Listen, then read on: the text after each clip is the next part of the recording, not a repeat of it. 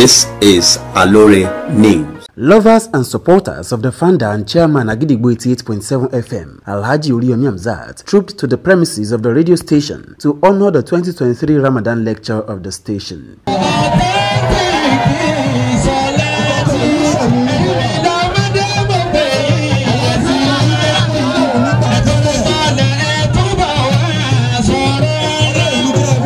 Speaking on the success of Governor Sheyi Makinde at the recent gubernatorial election, the Ramadan lecturer Sheikh Isa Al-Bakri described the victory as a victory for Islam. níjọ́ ní tí mo wá sí bẹ́bẹ̀ Islam.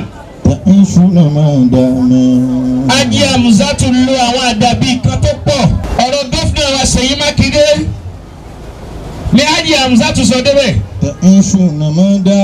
Ajé amuzatu ní tó bá yẹ pé Ṣèyí Mákindé ní àbòsí kan ní kọ̀rọ̀ tí ń lo ojú fẹ́ fáwọn èèyàn níta gbangba ọlọ́mọdé wọlé tó bá jásí wípé ń pìrìtẹ́ǹdì bóun nífẹ̀ẹ́ ìsìláàmù ni tí sì ń ṣe nǹkan mí ń kọ̀rọ̀ tí ò fẹ́ràn islam ọlọ́run o ìrí ọlọ́run mọ́jọ́ débẹ̀. ìṣúná máa dá mi. ó ní àmọ́ tó bá yẹ kó bá nífẹ̀ẹ́ islam ó sì nífẹ̀ẹ́ alukur'an ó sì nífẹ̀ẹ́ oríire ọmọ alákejì ìrí ọlọ́run à ń bẹ̀ ọ́ pẹ̀lú agbára rẹ̀ má dojú ti alukur'an má dojú ti wá. Ó débẹ̀. Ó débẹ̀ àbí ó débẹ̀. Describing Alhaji Uriyomi Hamzat as a man who focuses on the good of the masses, the popular Lagos-based Islamic cleric Sheikh Abakri and the Chief of Staff Muslim Ummah of Oyo State, Professor Kamil Olosho, charged leaders across various cadre to seek the interest of their followers. oríyọmí láàánú ọmọlẹ́yìn ajé àmúsátù oríyọmí ó nífẹ̀ẹ́ ọmọlẹ́yìn. Ajé àmúsátù oríyọmí ntí ń fẹ́ fúnra rẹ̀ náà ni a máa fẹ́ fọmọlẹ́yìn. abdulrahman ọmọ ọmọ àtàní àkàndá èèyàn ni. Kò sí ń tẹ́ tiẹ̀ pé tí ò bá mu ní dáadáa bàbá tó bí ló fi akéjọ ọmọ ọkọ pátá porogodo. Ọlọ́ba ń ṣàánú ẹ̀ o. Má jẹ́ kí ayé orí orí ẹ̀ṣẹ́ ń ṣàánú ẹ̀. Gbogbo ẹni ó bá ní òkúbi tí ó gbé gbà ọlọ́ba ń yọ̀ǹda kó lò wọ́n mọ́gbà.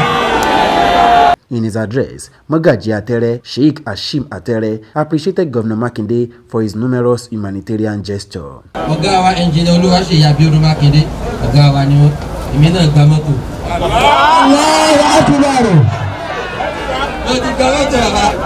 ẹni tí ìgbà rẹ̀ bá sán ẹni tí ẹnu èmi gba mọ́tò mọ̀kàn ṣe wáàsí náà ní níjọ́ àlàmísì èmi sì kọ́ mọ́ tọrọ ọkọ̀ ọ̀tọ̀ lẹ́tọ̀ tọrọ mọ́tò wọ́n bá ní kékeré gbé mọ́sùn kan fún èmi náà.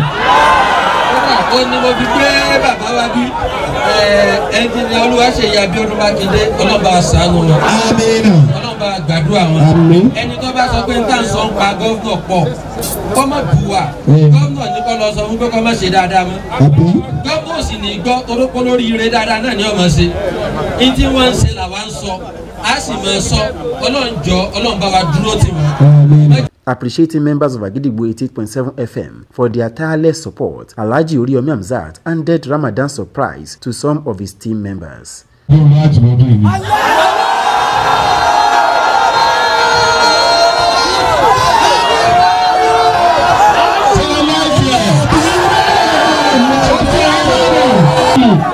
Èsì wáyé káwọn ti lọ ṣùgbọ́n torí tó ṣẹlẹ̀ lẹ́sìn a jẹ́ pé a ti di mẹ́rin bẹ́ẹ̀ yẹn. aláàjì ìṣẹ̀lẹ̀ aláwọ̀ àkùbárò. wọ́n ti wọ́ kọ́ sọ ẹ̀ tó ní the prayer team ẹ̀ tó ní the islamic team ẹ̀ tó ní the gbogbo Àwọn tó ń sùn.